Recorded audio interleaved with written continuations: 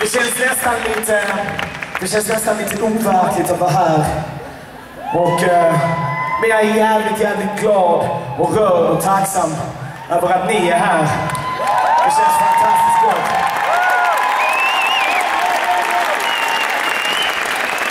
Och vi, eh, vi tänkte spela jävligt mycket musik för er ikväll. Och försöka, försöka bläddra igenom flera, flera år, flera känslor, både berg och dalar. Och även fundera lite.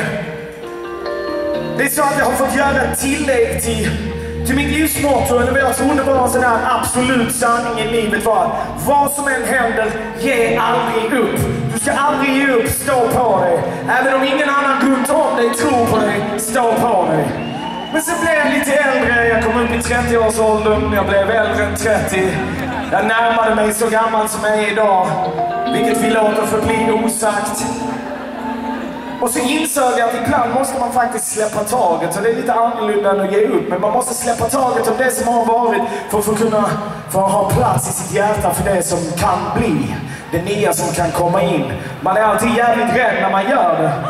Men det måste göras. Det är precis som ett dataspel. Om du ska ta dig till en ny nivå så måste du släppa taget om där du har varit. Oh.